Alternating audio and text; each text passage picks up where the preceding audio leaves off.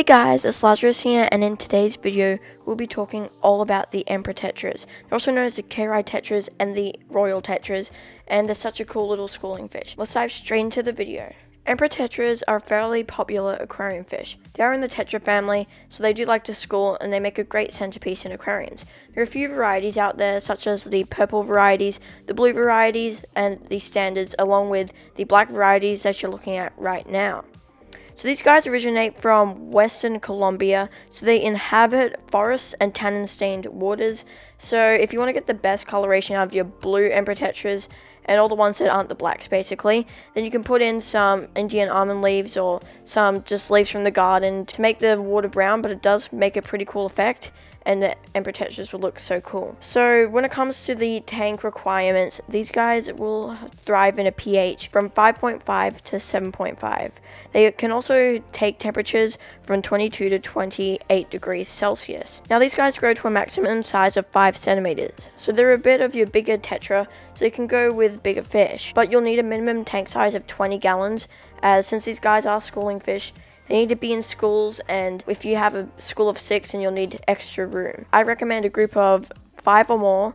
I recommend no less. The more Emperor Tetras there are, the more you'll see them out and about.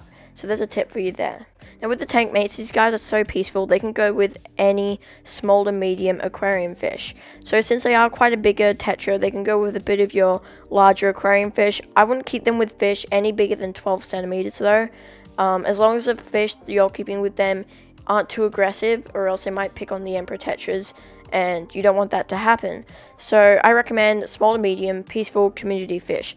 Now these guys aren't picky with their foods. They do have fairly small mouths, so you need to make sure that you feed them foods that aren't too small. They'll take any frozen foods and any small live foods as well. They also love tropical fish flakes and all sorts of nutritious foods. Make sure the food you're feeding them has lots of nutrition as these guys need it to develop really great coloration. Now to identify male and females, the males will be slim and usually have blue fins. You more have to look for the slim when you have the black and protectors, but also with the females, the females will be more plump and they'll have red fins usually. Now to breed these guys is not too hard.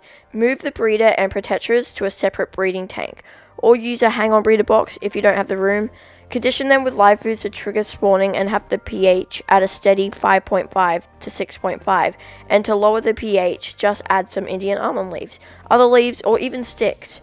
Provide moss or marbles in the tank as emperor tetras are egg scatterers, or when they lay the eggs, take the uh, tetras straight out, just as long as the parents can't get to the eggs once they've scattered them. Marbles on the bottom of the tank are probably the best option. The eggs should hatch within 48 hours and then feed them off powder food for a couple of weeks and then you can start feeding them baby brine shrimp. So overall, these fish are quite a cool, great centerpiece for your aquarium. They stand out and they are quite a unique one compared to most of your fish. You should find them at most pet stores. I can find them at lots of my big box stores around here, here in Australia, so they are easy to find, but some places might be harder to find than other places. Well, overall, if you're looking for a more unique, bigger Tetra for your heavily planted community aquarium, then definitely consider getting the Emperor Tetras. Thanks so much for watching guys. If you enjoyed the video then please give a thumbs up and subscribe for more content just like this. If you have any questions feel free to leave them in the comments down below. Have a great day and I'll see you all in the next video.